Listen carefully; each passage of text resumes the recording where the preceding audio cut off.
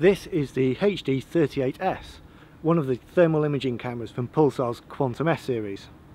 Now, this one has got HD definition and a refresh rate of 30 Hz per second, so it's ideal for going out there and monitoring wildlife. It's easy enough to use too.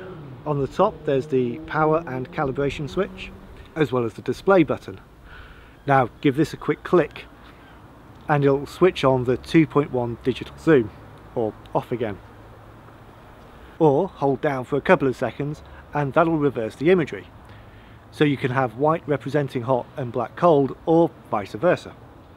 Just on the side is the control wheel. Rotating this up and down will alter the brightness on the eyepiece and give it a quick click and then you can change the contrast.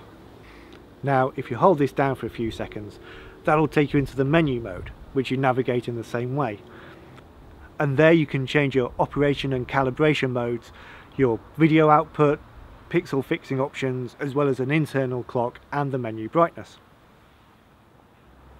To keep your image nice and crisp, there's a focal ring just on the front, but if you're after that steadier shot, there's also a quarter inch tripod mount on this side and that side, as well as a Weaver mounting rail.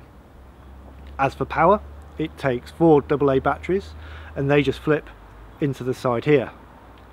Now there is an option to have an external power pack and it really is worth it because it does extend the life an awful lot longer. And finally underneath you can find the power and video ports. So there you go, a very quick overview of the HD38S.